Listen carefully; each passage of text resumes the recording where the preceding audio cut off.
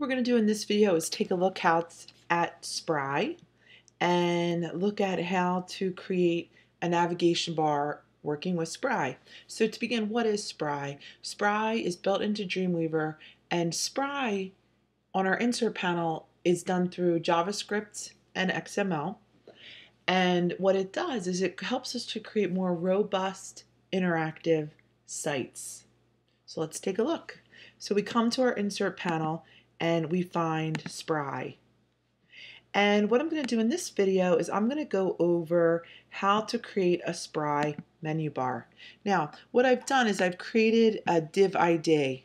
I've inserted an ID, and as you can see from my code, it's called navbar.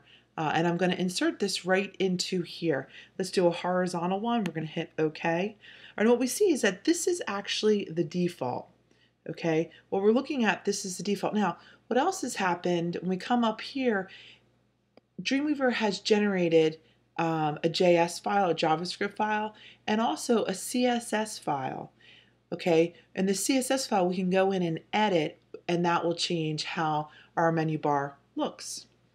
Okay, so let's actually take a look what I want to do here. Uh, I'm going to come up to my windows, I'm going to open up my properties. When this is all selected, I get this. Okay, and what I want to do here is I'm going to put HTML.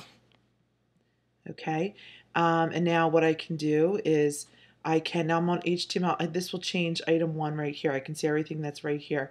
Now I'm going to find um, my link.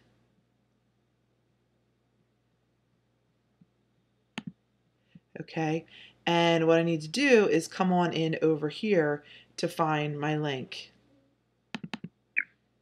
Okay, I come into here and here's my HTML1 file. Okay, now what I can do as when this whole thing is selected, now again, in order to get back to that item, I need to have the whole thing selected. So I'm not going to worry so much about doing the links right now, but let's actually just take a look and change things around. I can come to item 2. I'm going to make item 2 CSS. Okay, and actually, why don't we go for capital letters? Okay, I can come back to item one. I want item one, hold on, which is this one. I want this one to be HTML. Okay, I could come to CSS. Again, I could put my link in right here. I come to item three. I'm going to make item three be Spry. Oops.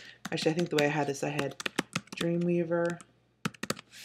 And then item four, we're going to put in spry.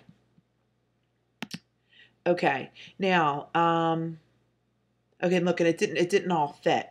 Uh, so what I would need to do is actually make my bar a little bit bigger. Um, so let's actually come in and let's edit and do that. But before we do it, let's preview this in Safari. So I can come in and say preview, save. Now what it's going to tell me is that these are all of the dependent files that it's going to save with this. So we're going to hit OK. All right, now I can see that this all works just like so. Voila. But let's say I want to change this so I don't have these colors. Well, that's really easy to do. Let's come on back into here. Um, now sometimes, let me, let me flip over back to design view. Uh, there we go, because I want to I don't want to see it the right way. That's what happens sometimes. It's just going to uh, do that. Let's actually just get rid. Well, maybe we'll add one. Uh, if I come to item one, I'm going to make item one HTML. What do we do? More on HTML. All right, and let's create our link, and let's link it to HTML2. Choose. Excellent. All right, let's come to CSS. Let's create our link. And I know we have a CSS. We're going to hit choose. Let's come to Dreamweaver. Let's create our link. Let's find Dreamweaver, choose. Let's come to Spry. Let's create our link. And where is our Spry? Choose. Okay, now let's get rid of some of these other ones. I'm just going to delete this.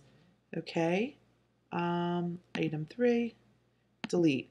Item this, delete, delete. Now we can come back in um, and uh-oh, what did I just do? And we can, you know, Yes, I actually wanted to delete that. Okay. We can come back in this menu and all of its children will be deleted. Oh, how sad. Would you like to proceed? Yes. Okay, good.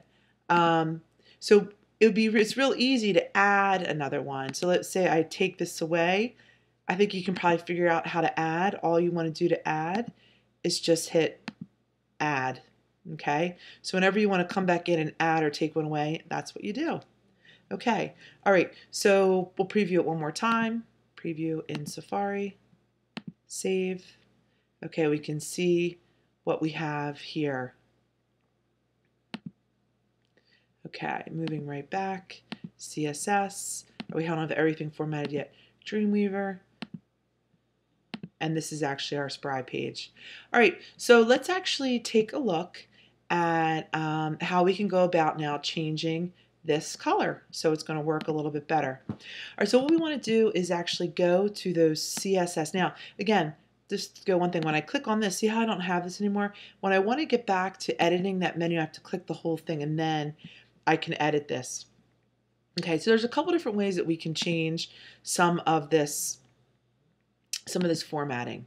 Okay, um, if I click onto this and I come to CSS, I can see all of these different rules that I have okay, I can see, you know, visited when I hover. Okay, so if I hit, hit hover, I could edit this rule.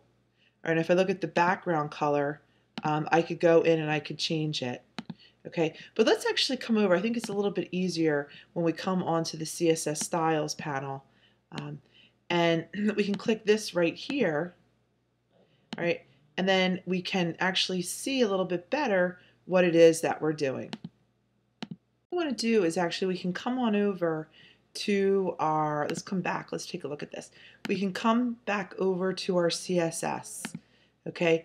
And then what we can do is we can come on in and we'll see once we save is that we have our web, I have my web design CSS file, but the one I want to really take a look at is the Spry menu bar horizontal, right? And what's great about when we open up our CSS panels, we can actually see it's telling me as I come down in here, you know, what, okay, what is going on? All right, and where I want to look is, um, I'm going to change these colors. That's really what I want to do. Okay, there's a border around it. I can get rid of that if I wanted to. I could edit that. Let's keep that for right now. But the one I really want to do is I want to change this color. I'm going to come in. I can actually, I want to just grab this. Okay, now I've changed it to be the color that matches. The other thing I want to change is when it hovers. Let's change it from this blue let's just change it. Let's change it to something a little bit different so then we'll, we'll notice the difference. All right, let's save all. And I encourage you to spend more time experimenting over here to see what's going on, right? You can see other things. Maybe actually I want to change this one too, the hover, right? And I don't know what color I made it, but 699, okay, let's see. And again, um, you know, experiment over here. Keep looking. I'm to look. I want to change any of that blue color. All right. Preview in Safari or wherever you want to preview it. We're to save them all. So now we can see that this color has changed. Now, one thing where it didn't change, up oh, there we go. Look at that. Isn't that beautiful? Okay, so there's a little bit on adding some more interactivity, creating more robust websites. Thank you for listening. Spend time experimenting and uh, learning about the possibilities of Spry in JavaScript. I'm sorry, Spry in Dreamweaver.